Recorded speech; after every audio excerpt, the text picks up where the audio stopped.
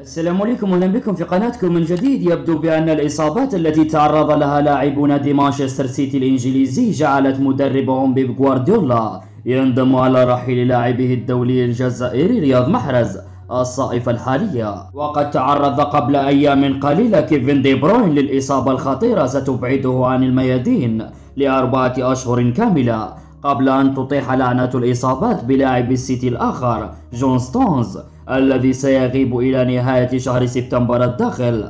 ونقل موقع مانشستر إيفينينغ المهتم بأخبار السيتي تصريحات للتقني الإسباني بيب غوارديولا النادم وبشدة حيث قد شدد من خلالها على تدعيم الفريق لا سيما بعد رحيل لاعب بقيمة رياض محرز بصفة مفاجئة كما قال. وتابع بيب غوارديولا تصريحاته قائلا نحتاج للجميع في الفترة المقبلة في الأسبوع أو الأسبوعين القادمين. الإدارة مطالبة باتخاذ قرارات لصالح الفريق. وأضاف غوارديولا قائلا لم نكن ننتظر أن يحدث لكيفن ما حدث ولم ننتظر أيضا رحيل رياض محرز. لكنني أشعر أننا تحدثنا عن ذلك.